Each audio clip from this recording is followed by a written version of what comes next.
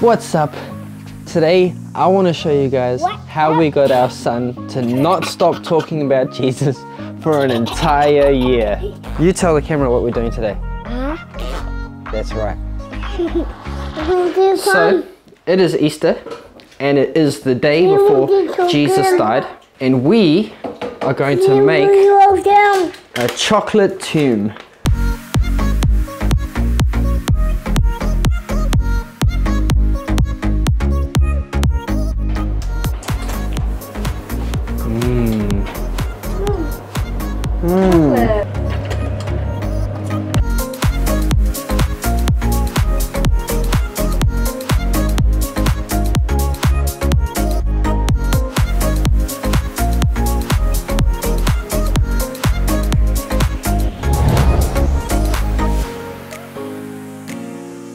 We have just finished the, what layer is that? Uh, four. Okay, spin it around, give us a show and tell. There we go, there's the door. What happened to Jesus? Mama, He died and then where'd you find the deer? he raised from the dead.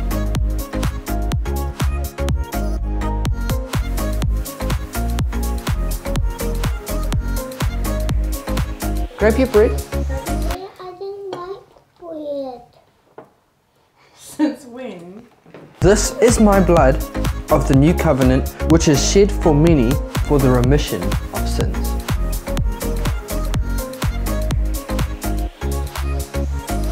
So that's the door. Is it? Yep. Ooh, that's pretty good. It'll stand at least. That's pretty good. Nice thick door. I'll probably carve it a bit more. Okay. Nervous. Ooh. Was like, there's a hole. I got a massive fright thinking I broke it. That's the coolest. That, uh, that is the coolest tune.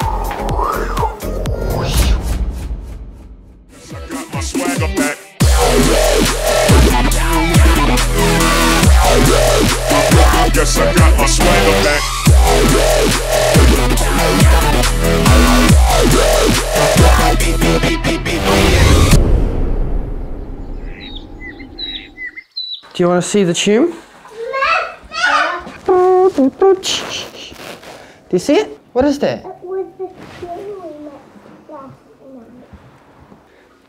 One of the most fascinating things about the Easter story is that the Old Testament actually has so many prophecies about this event. One of my favorites is Psalms 22. Have you ever wondered why, when Jesus was on the cross, he said, My God, my God, why have you forsaken me? That's actually the beginning of Psalms 22, and Psalms 22 actually predicts what is happening on the cross. He said that because a lot of the people, Pharisees, the people, they knew the, the law, they knew the Torah, they knew the Psalms. A lot of them would have finished that Psalm in their mind and realized what the Psalm is talking about is happening right now. So it's a prophecy about the Messiah. And believe it or not, it was written almost 600 years before the event. So it starts off, My God, my God, why have you forsaken me? Why are you so far from helping me? I'm just going to skip a little bit. Verse 7 All those who see me ridicule me. They shoot out their lip, they shake their head, saying, He trusted in the Lord. Let him rescue him. Let him deliver him, since he delights in him. Verse 14, he says, I am poured out like water. All my bones are out of joint. My heart is like wax. It has melted within me. My strength is dried up like a potsherd. My tongue clings to my jaws. You have brought me to the dust of death. They have pierced my hands and my feet. I can count all my bones. They look and stare at me. They divide my garments among them, and for my clothing they cast lots. Amazing. Check this out. Matthew 27, verse 35. Then they crucified him and divided his garments, casting lots. And those who passed by blasphemed him, wagging their heads and saying, You who destroy the temple and build it in three days, save yourself if you are the Son of God. Come down from the cross, just like in Psalms 22. And I have another prophecy. There's more prophecies. There's so many prophecies. I have another one that I want to share with you guys.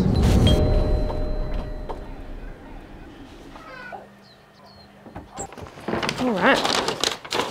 Hey, Phil and Tash and fam. This year, more than ever, Easter is showing us that church is not a building or a group, but that we are all the body of Christ. We want to celebrate that with our special brothers and sisters. You guys, you are a rich blessing to us. Happy Easter. So, like this later. Make it go into the ear. Everyone will be doing that. Today is the day Jesus gets crucified. So what we're gonna do is we're gonna make a cross and we're gonna make Jesus so we can put him on the cross so the kids can visualize Jesus dying on the cross. And then once he's died on the cross, we're gonna put him inside the tomb and he's gonna stay there until Sunday when he raises from the dead. And then we have a special tomb smashing session that the kids will never ever forget. Here we have our Jesus. With, ah, don't break Jesus! David, you're breaking the cross! Oh, mate. You broke the cross. Jesus on the cross.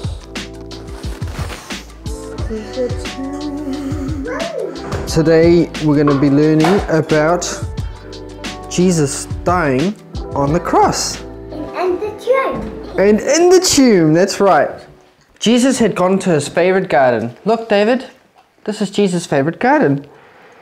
He went there to pray. The disciples went along.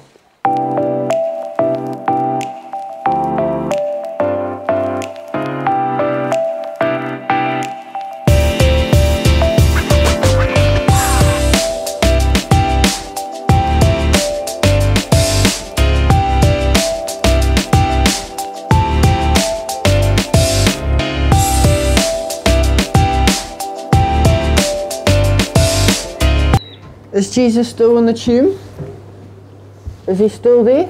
Yeah. He is? Yeah. Is Jesus still in the tomb, David? See? He's still there. Another Old Testament prophecy. It's actually even older than the one I shared. This one is from the book of Isaiah, and it was written literally 700 years before Christ. 2,800 years ago, this was written about Jesus and it explains the life that he lived and the death he would die. Isaiah 53, verse 4 is a pretty famous verse. It says, Surely he has borne our sicknesses and carried our diseases. Yet we esteemed him stricken, smitten by God, and afflicted. He was wounded for our transgressions, he was bruised for our iniquities. The chastisement for our peace was upon him, and by his stripes we are healed. All we like sheep have gone astray, we have turned every one to his own way, and the Lord has laid on him the iniquity of us all. Other versions of the Bible says he was pierced for our iniquities. This is clearly talking about Jesus dying on the cross and what it means for us, and it was written such a long time ago. Roll this. Is he still there? Yeah. Yep, still there. Yep. Cool. Welcome to the vlog. So you are the mastermind behind the chocolate tomb. I'm always looking for ways to try and communicate the gospel to my kids. Easter being the most important period of celebration time for the church seemed to always be dominated by this this sort of secular bunnies and Easter eggs, you know, anything chocolate. So that kind of irritated me a lot. And over the years, I, I just kept thinking, there's got to be something better. There's got to be something better. And the Lord said, well, build an Easter tomb out of chocolate. And I thought, well, that's a cool idea. it's got to be at least 15 years ago now.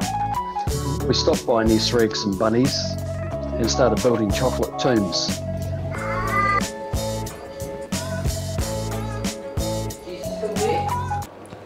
Instead of reading the adult Bible, because our children are three and one, I am reading out of a kid's Bible. But as they get older, you can increase the deepness in revelation as you go through the stories with them. Jesus died on the cross last night, do you remember? Where is he? Still in the tomb. No good news. Jesus is still in the tomb. tomb. You know, the, the ultimate for me would be everybody does it. And the outcome is more kids are coming, they're making that personal commitment. They know Jesus the way the disciples did, and the effect of that would be phenomenal. Have a look and see if. Where's. Is Jesus still there? Where's he? Oh, Where's Jesus? Is he there?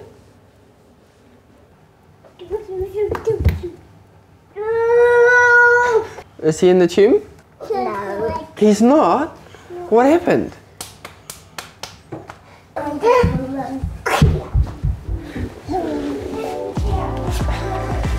Three days later, the earth shook. An angel of the Lord came down from heaven and pushed the stone away. Mary was walking to the tomb with some of her friends. They saw an angel who said, Do not be afraid. Jesus is not here. He has risen.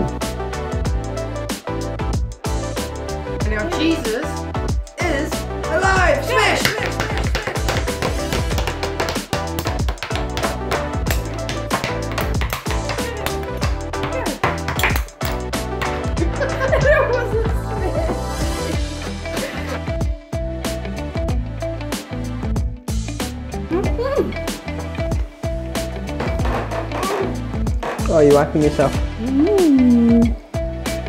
I guarantee the last time we did this with, with Joseph, he didn't stop talking about Jesus for an entire year. I encourage you guys to do this with your family and you will see lots of fruit from this in your life. Let's not let Easter be taken over by the secular world because Jesus is alive. My last scripture is probably the oldest of them all. It's when Moses lifted up the bronze serpent in the wilderness. And the people spoke against God and against Moses. Why have you brought us up out of Egypt to die in the wilderness? For there is no food and no water, and our soul loathes this worthless bread. So the people were complaining about being saved. So the Lord sent fiery serpents among the people, and they bit the people, and many of the people of Israel died.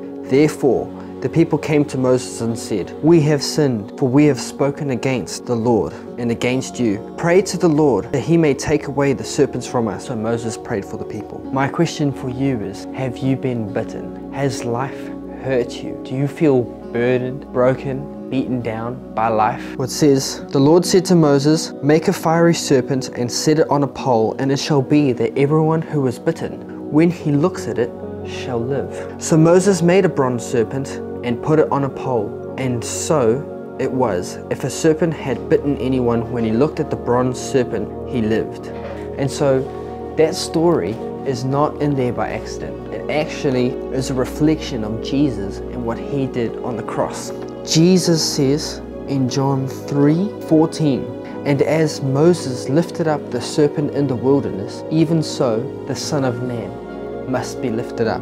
He says that whoever believes in him should not perish but have eternal life. For God so loved the world that he gave his only begotten Son, that whoever believes in him should not perish but have everlasting life. For God did not send his Son into the world to condemn the world, but that through him the world might be saved. And so my question for you watching this video is have you been bitten? Have you sinned against God? Have you rebelled? Do you feel downcasted, low, hurt? Do you need a bit of saving right now? Do you need to come out of a dark situation? Well, if you just look to Jesus, you can be saved. If you just look to Jesus, you can be healed. By his wounds, we are healed. The punishment that brought us peace was upon him. And so all we need to do is look to Jesus and we shall be saved. He will pluck us up out of darkness. He will pull us into the light. He is reaching out his hand right now. Will you take it? Will you take that next step? Look to Jesus. The time is now.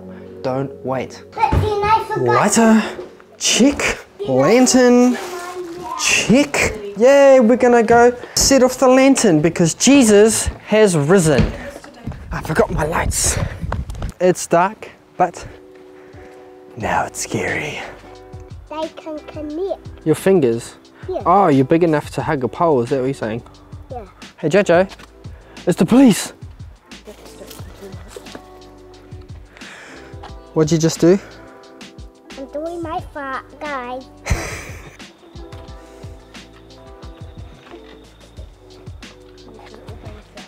Yay, we made it. Wow! Okay, so what do we do? Do you have to pull this off? You have to hold it the other way. What are you doing? I'm looking. Do we have to just burn this cardboard bit? No, this is fine. We're in the middle of a field. Phil, right by wooden poles and grass all around those wooden poles. Isn't that how it works? This is good. Do I just let it go?